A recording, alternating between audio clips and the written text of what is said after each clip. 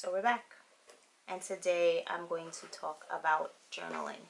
So this is going to be part of my life balance series where I've spoken about meditation and me time, I believe, are my other two. And I just, I've picked up things here and there and I've tried them for like maybe a week or two. But journaling is something that has done me a world of good. It is this journal. I'm not sure if you can see it very clearly.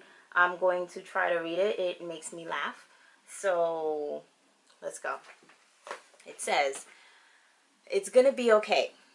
A journal to reassure myself when I'm overwhelmed by the creeping sense of impending disaster and the all-encompassing fears, both specific and vague, that colonize my mind, body, and soul all of which, from the completely far-fetched to the sometimes probable, do me no good to contemplate and in fact make me miserable.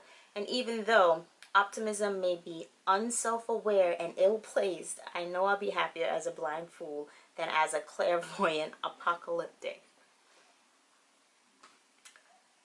That's my journal.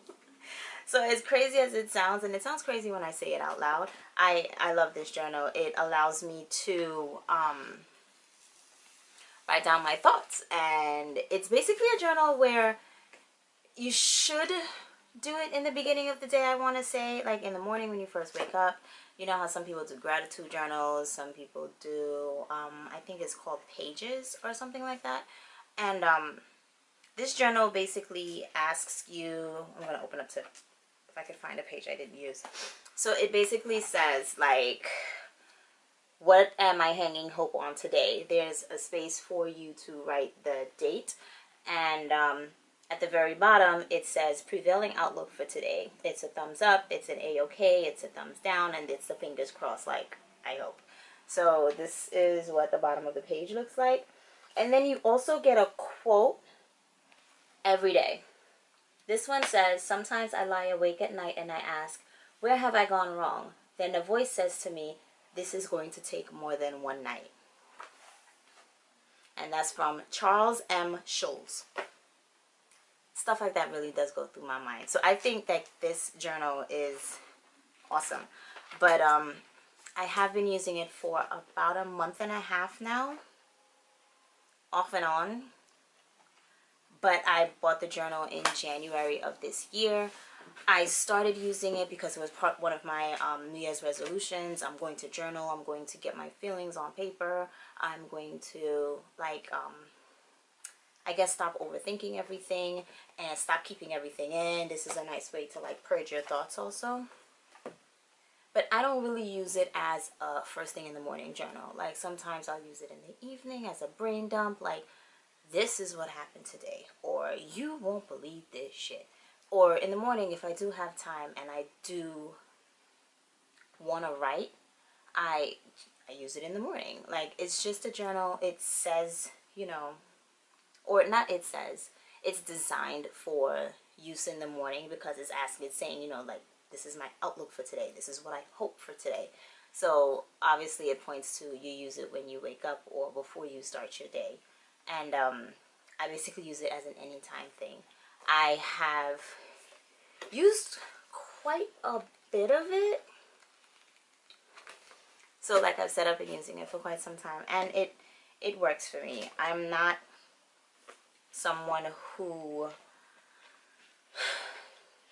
sticks to things very long. I get bored very, very easily. But um, I'm also not someone who has um,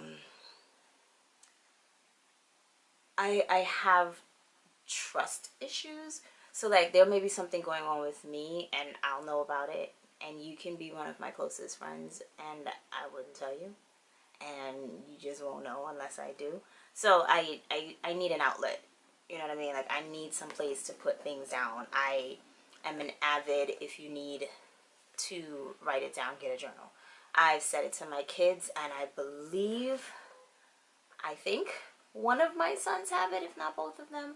And the reason why I'm not too sure is because journals are the one thing that I say is absolutely off limits. I will not go in your journal whether I want to be super duper snoopy or whether you want me to read it, I'm not going to your journal. Like I'm not. Because I don't want anyone to pick my journal up and start browsing through. You do, you will get your feelings hurt because I, I write everything in my journal. And um, I'm very well aware that now people who know me, if they come to my house or even those who already live in my house, will now be on the hunt for this in a way. It's kind of like human nature. It's not that, oh, I think you're writing something bad about me, but it'll be more like, I wonder what you're writing about. So, that's my journal. I do think journaling helps. It helps me get my thoughts and my, my, my, my thoughts and my wanderings, I guess, down on paper to where I can also look back and reflect and it creates memories. Like, um, I have a time in here when I started swimming. That's another video. Yeah, it's it, it turns into a book of memories, good and bad. So it's kind of like the good, the bad, and the ugly in my own handwriting. I don't know if I'm taking the right approach by keeping my journal um, private. I'm I don't think like I need therapy or anything like that, so I don't think it's like oh my therapist is gonna need it like type of a situation i can't really think on i can't talk on mental health or anything like that because i know absolutely nothing about that. But i my journal helps me. It's like my best friend that i can talk to and i do recommend it to any and everybody who feels like they have things to say that they can say but don't want to or they cannot say because it's not okay or politically correct or um, they're embarrassed or they feel like they'll be teased. My only thing is you need to know that your journal is safe. Like I could easily be paranoid about the stuff that I put in here, but I really don't care. If you're stupid enough to go through my journal, then you are looking to get your feelings hurt. You know what I mean? Because you don't know if I'm writing about you, about a situation that involves you or you just don't fucking know. It's not your business. It's not your business. So that's it for me in journals.